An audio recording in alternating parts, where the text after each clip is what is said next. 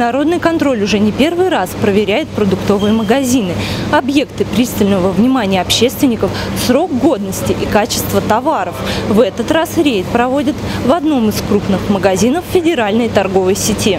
Руководство магазина поспешило присоединиться к инспекции. Несмотря на то, что никого не предупреждали, реагируют довольно спокойно. В первую очередь активисты проверили детское питание и молочные продукты. На эти товары народному контролю поступали жалобы. Впрочем, не только на них.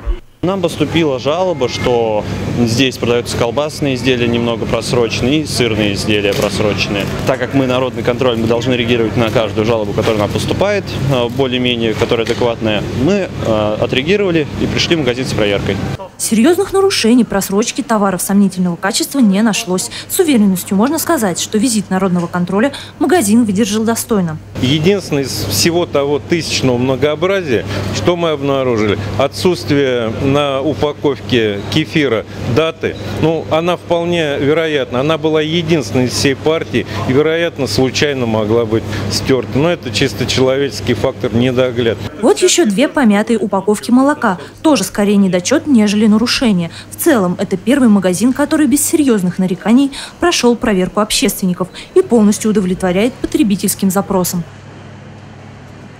А вот второй объект инспекции – супермаркет напротив, известной торговой сети. На него также поступают жалобы. И, как оказалось, не зря. Почти сразу общественники нашли просроченную продукцию. Мы попытались найти администрацию или специалиста по свежести. На месте оказался заместитель директора.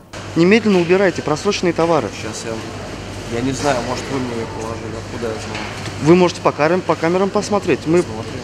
Я и говорю, я не уполномочен. И все, ни на какие вопросы сотрудник больше не отвечал, а народный контроль продолжил наполнять тележку просроченными товарами. Кроме яиц и сгущенки здесь оказались оливки, рыба, сок и даже хлеб. По окончании инспекции общественники позвонили на горячую линию сети магазинов и подали жалобу. Ну давайте, да, оформим жалобу.